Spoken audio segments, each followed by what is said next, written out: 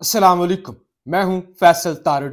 खान की जानब से जी एस्टैब्लिशमेंट से जंग बंदी का ऐलान कर दिया गया है कि हमारी फौज से कोई लड़ाई नहीं है, हम फौज मुखालफ नहीं है और ये तासर भी अब ना दिया जाए, ना ऐसी कोई बात की जाए, ना फौज मुखालफ बयानिया प्रमोट किया जाए, बल्कि वो लोग जो फौज मुखालफ बयानिए पर काम कर रहे हैं उनका भी पीटीआई से कोई ताल्लुक नहीं और उनको पीटीआई का हम दर्द भी ना समझा जाए, इमरान खान का हम दर्द ना समझा जाए, जो लोग फौज मुखालफ बयानिया प्रमोट कर रहे हैं।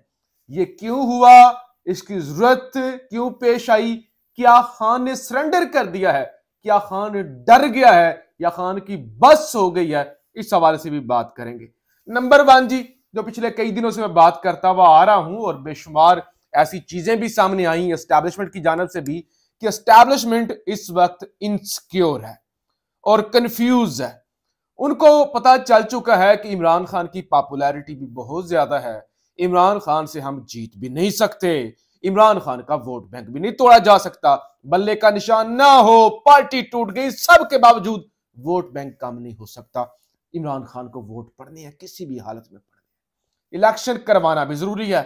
करवाएँ, ना करवाएँ ना करवाएँ, उसके अलग मसाइल हैं क्योंकि कोई भी मुल्क, चाहे वो मिडल ईस्ट का हो, चाहे वो यूरोपियन हो, चाहे अमेरिका हो, लो रिस्क, जहाँ पर रिस्क कम हो, वहाँ पर वो सरमायाकारी करते हैं। ऐसे मुल्कों के अंदर, जंग जदा ममालिक के अंदर वो सरमायाकारी नहीं करते तो लिहाजा मैशत भी नहीं चलेगी।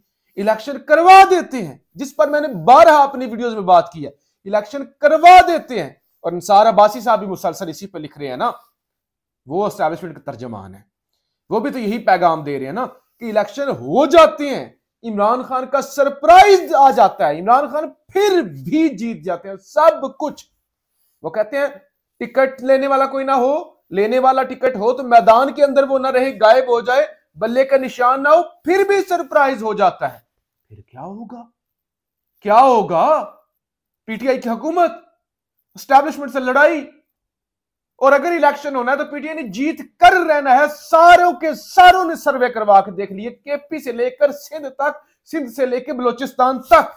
नवाज़ शरीफ के अंदर इतनी जान नहीं है कि इमरान खान के वो पास से भी गुजर सके। एक होता ना कि मुकाबले के अंदर आ जाना। नहीं, नवाज़ शरीफ पिट चुका है, पिट चुका था। नहीं कर सकता मुकाबला। अब क्या होगा? अब या तो सुलह मामला ठीक किए जाएँ, या इसी तरह से अदम इस्तेकाम अदम इस्तेकाम अदम इस्तेकाम, ये चलता रहे।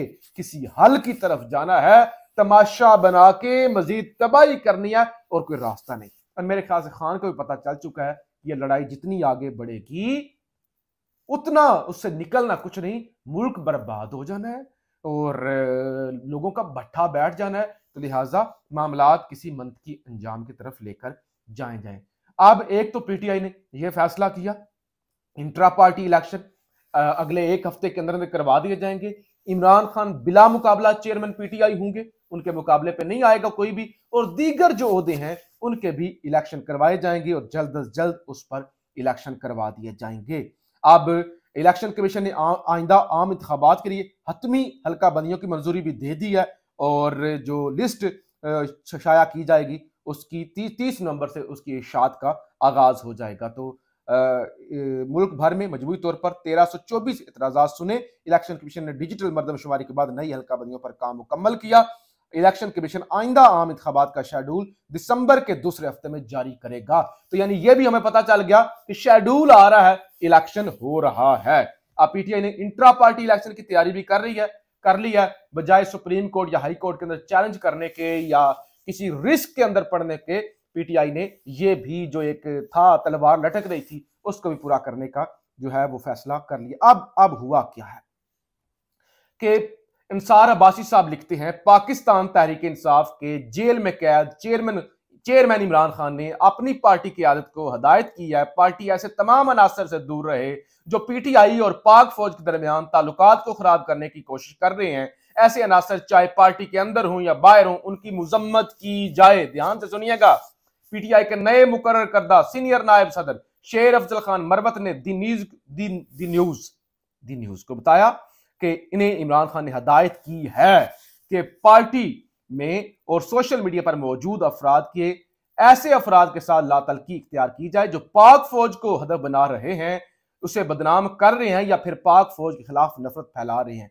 मरबत ने कहा, इमरान खान ने इन्हें कहा है कि तासुर दूर किया जाए कि पाकिस्तान तहरीक इंसाफ फौज के खिलाफ है। इमरान खान ने हमेशा से ही इस बात पर यकीन रखा है कि फौज मुल्क की सलामती और दफ़ा के लिए अहम तरीन है। पीटीआई के नायब सदर मरवत ने कहा कि इमरान खान ने मुल्क और कौम के लिए कुर्बानियाँ देने वाले मुसल्ला अफवाज के शहदा को खराज तहसीन पेश किया।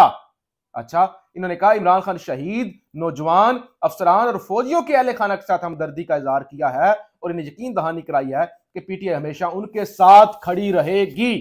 यकीन दहानी कराई है। मरवत ने इमरान खान के हवाले से कहा, शहदा कौम का फख्र है। और उन्होंने कहा, हालिया दिनों में वो के पी के में, पीटीआई के कारकुनों के बड़े इज्तम से खिताब कर चुकी हैं।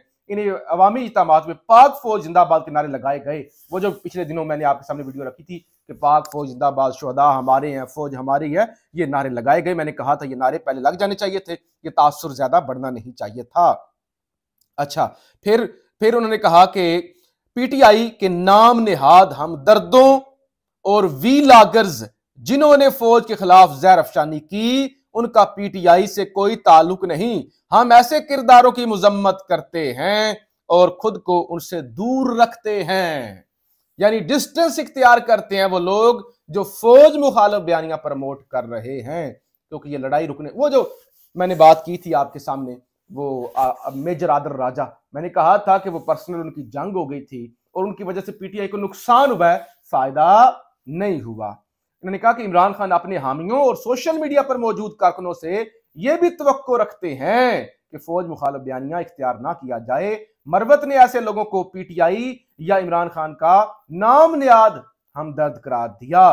पार्टी फौज को बदनाम करने वाले किसी भी शख्स को मजीद बर्दाश्त नहीं करेगी। तो बहरहाल, पार्टी पीटीआई के अंदर, पीटीआई के बाहर, इमरान खान के नाम पर, चाहे कोई भी हो, जो फौज मुखालफ बयानियाँ चला रहा है, उसको जम्मत करेगी, उसको ओन नहीं करेगी। यानी आब खान की जानब से भी थोड़ा नरम रवैया रखा गया है, थोड़ी स्पेस दी गई है और कहा गया है कि हम ये जंग मजीद नहीं चाहते और उधर वालों के भी हाथ खड़े हो चुके हैं। तो लिहाजा यही मेरे ख्याल से बेहतर भी है कि इन लड़ाइयों से निकल कर मुल्क का सोचा जाए, ताकतवरों के भी हाथ खड़े हो गए हैं। इसका ये मतलब नहीं है कि इमरान खान सरेंडर कर रहा है या इमरान खान हार चुका है। इमरान खान नहीं हारा। अगलों की भी बात सोच चुकी है कि बस बहुत हो गया। तबाही तबाही है। इससे हालत हासिल कुछ नहीं होना। फिर जी, लाहौर की सेशन अदालत ने इमरान रियाज खान की जमानत कन्फर्म कर दी। तो ये बड़ी खुशखबरी है इमरान रियाज के लिए। अदालत ने एफ़ आई ए की इस्तः मुस्तरद कर दी और सेशन अदालत की ने इमरान रियाज खान की जमानत जनाब कन्फर्म कर दी है। और इसके अलावा परवेज मुशरफ पर जो संगीन गद्दारी केस था, उस हवाले से जो है वो कार्रवाई उस हवाले से आज समात थी। सुप्रीम कोर्ट के अंदर और बड़े दबंग रिमार्क्स आए। आज मुशरफ के मार्शल लॉ को कानूनी कहने वाले जजों का भी ट्रायल होना चाहिए, जस्टिस अतरमनल्ला मार्शल लॉ को रास्ते देने वाले फैसले खत्म होना चाहिए, जस्टिस अतरमनल्ला परवेज मुशरफ ने 12 अक्टूबर को आइन तोड़ा। इस इकदाम को इसी अदालत ने रास्ता दिया, जस्टिस अतरमनल्ला बताएँ आइन तोड़ने वाले जजों की तस्वीरें ही यहाँ क्यों लगी हैं? Chief justice. ने कहा, जिन्होंने आइन तोड़ा है, उन जजों की तस्वीरें यहाँ पे क्यों लगी हैं? ये चीफ जस्टिस क्या कहा गया, क्या जजों पर हमला असेंबलियाँ तोड़ने आइन मुअत्तल करने से ज़्यादा संगीन मामला था? तो जजों पर हमला हुआ इससे ये बड़ा मामला था। परवेज मुशरफ की सजा के खिलाफ अपील और लाहौर हाईकोर्ट फैसले के खिलाफ अपीलों पर समाप्त हुई। कौम बनना है तो माजी को देखकर मुस्तकबिल को ठीक करना होगा, चीफ जस्टिस। और इसके साथ साथ आज चीफ जस्टिस ने कहा ये आला अदलिया एक तो पहले उन्होंने कहा साहब का लफ्ज लगाया जाए। फिर उन्होंने कहा आला अदलिया क्या होता है?